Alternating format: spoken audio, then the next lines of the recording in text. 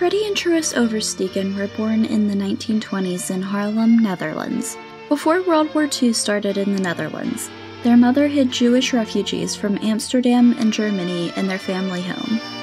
The girls also witnessed the violence around them after the Nazis invaded. Growing up in this environment, they were exposed at a young age to the evil of the Nazi regime. As an adult, Freddie recounted, I remember how people were taken from their homes, the Germans were banging on doors with the butts of their rifles that made so much noise you'd hear it in the entire neighborhood. And they would always yell. It was very frightening. When Freddie was 14 and Truus was 16, the family heard a knock on their door. Their visitor was a commander of the Haarlem Council of Resistance, who wanted to know if the girl's mother would allow them to join the resistance group. Their mother agreed, and the girls began their training. The group taught the two girls how to shoot and march through the woods. Eventually, the pair would meet Hannie Schaft, another girl in the resistance who helped them on missions. While in the group, the trio helped transport Jews into hiding, blew up railways, and, most famously, seduced Nazis and lured them into the woods to be shot. While recounting a mission in which she helped to assassinate a Nazi big shot, Freddie remembered. I had to keep an eye on my sister and keep a lookout from a vantage point in the woods to see if no one was coming.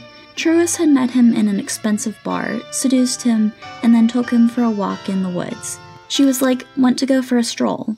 And, of course, he wanted to.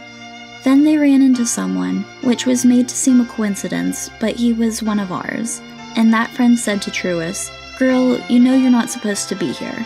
They apologized, then turned around and walked away.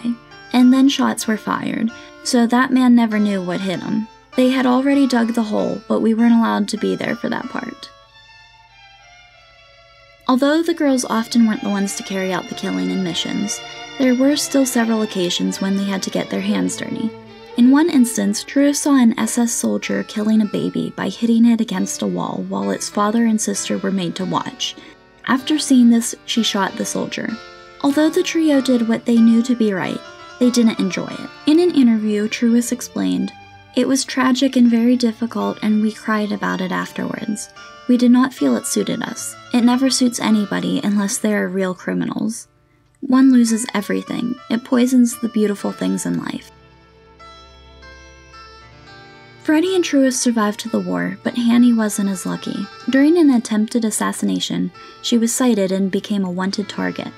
The Nazis only knew her as the girl with the red hair. Despite this little knowledge, she was caught in March of 1945 while transporting underground papers with a pistol on her bike. Hannie was interrogated, tortured, and eventually executed. During the years following the war, it was important to the Oversteegen sisters to make their story known to the world.